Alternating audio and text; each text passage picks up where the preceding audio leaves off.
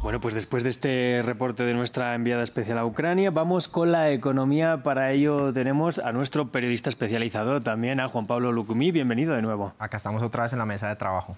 Pues en esta mesa de trabajo vamos a comenzar hablando de Chile, que tiene una noticia muy interesante de la que vamos a hablar ahora y es ciertas nacionalizaciones en torno al litio. Así es, la industria del litio específicamente, un anuncio que no es para nada poco porque el país sudamericano quiere ser el productor número uno del litio y parece que se está acercando o pues de conseguirlo ya veremos con las cifras. El jueves el presidente Gabriel Boric presentó su plan para nacionalizar la industria del litio por medio de la creación de un modelo público-privado para la explotación de este mineral.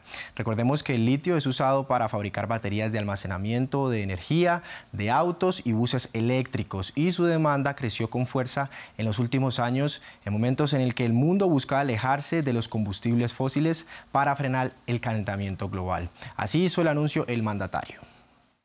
El Estado participará en todo el ciclo productivo de este mineral, creando para ello una empresa nacional del litio.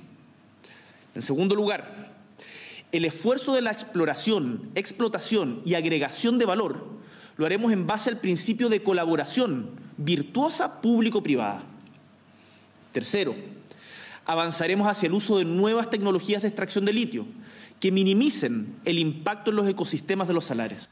Rodrigo, y es que si nos vamos a las cifras, Chile ocupa el segundo lugar como productor mundial de este llamado oro blanco, solo como con Australia superando sus números y teniendo a China, Argentina y Brasil detrás suyo, según el Servicio Geológico de Estados Unidos. Ahora, si venimos a nuestra región rica en materias primas y commodities, con Chile, Argentina y Bolivia se conforma el llamado Triángulo del Litio, donde está cerca del 60% de las reservas mundiales de este elemento y a diferencia del litio australiano que se extrae en rocas eh, de minas, en el litio de este triángulo están en salares. El mandatario chileno también dio detalles de la creación de una empresa nacional para el oro blanco. Escuchemos enviaremos al Congreso de la República el proyecto de ley que crea la Empresa Nacional del Litio. Esta buscará socios para el desarrollo de proyectos de agregación de valor. Y esto implica hacer un esfuerzo adicional para no solo extraer materia prima, sino convertirla en nuevos productos de alto valor tecnológico. Podemos hacerlo en Chile. Entiendo, Juan Pablo, que el litio va a ser una moneda de cambio muy importante para América Latina en los próximos años, por lo que decías precisamente, por esta importancia en la nueva economía verde que se viene ahora. Y desde ya se están preparando las naciones. Desde luego, como lo vemos en Chile. Vamos ahora un poco más al norte del continente, hasta El Salvador, porque tiene nuevas cifras de inflación. Pues llegó a su nivel más bajo la inflación desde octubre de 2021, cuando en marzo su tasa interanual alcanzó el 6,06% desde el 6,82% que acumuló en febrero, según los reportes del Banco Central de Reserva de ese país. Los precios se incrementaron entonces en los alimentos, en el sector de bienes y servicios y en restaurantes y como lo podemos ver en la gráfica, la tendencia pues va en descenso y ahora ocupa uno de los países pues, de América Latina con eh, menor tasa inflacionaria. Pues está interesante. Esperemos que el resto de países también sigan esa deflación inflacionaria.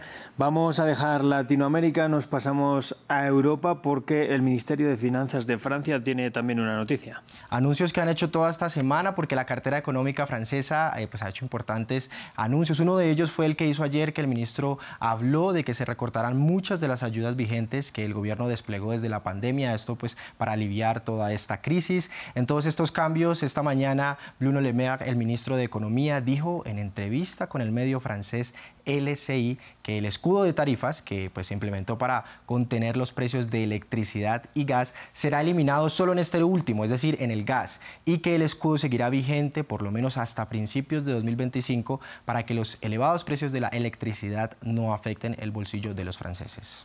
Bueno, se acaba el invierno en Europa. Me imagino que por ahí irá esta noticia. Dado que ya se necesita menos gas, van a reducir un poco el gasto en Francia. Vamos ahora con los indicadores de las principales bolsas. Bueno, y llegamos con la noticia de Wall Street porque ya abrió y abrió en un terreno indeciso, solo con el S&P 500 reportando ganancias, el resto de ellos con leves pérdidas de eh, menos del 1%. Las bolsas en nuestra región cerraron en terreno mixto con el S&P Merval de Argentina, que fue el que cerró con ganancias del 2,33%. Brasil también tuvo una leve alza, mientras en Colombia y México sus principales indicadores tuvieron leves pérdidas. Las bolsas en Asia cerraron en terreno negativo con el indicador de Tokio con una pérdida del 0,33% y el de Hong Kong también con una pérdida de más del 1%. Las bolsas europeas siguen operando sobre todo en terreno mixto.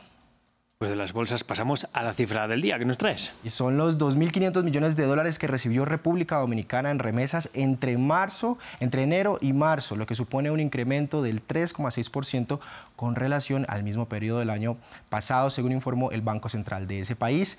¿Cuáles entonces son los países que más envía dinero a República Dominicana? Está ya en los Estados Unidos y España entre ellos. Y el tercero es Haití. Bueno, pues muy interesante este repaso económico como siempre. Ahora sí ya, feliz viernes y que tengas un buen fin de semana, Juan Pablo. Y nos vemos el lunes con más economía. Con mucho más.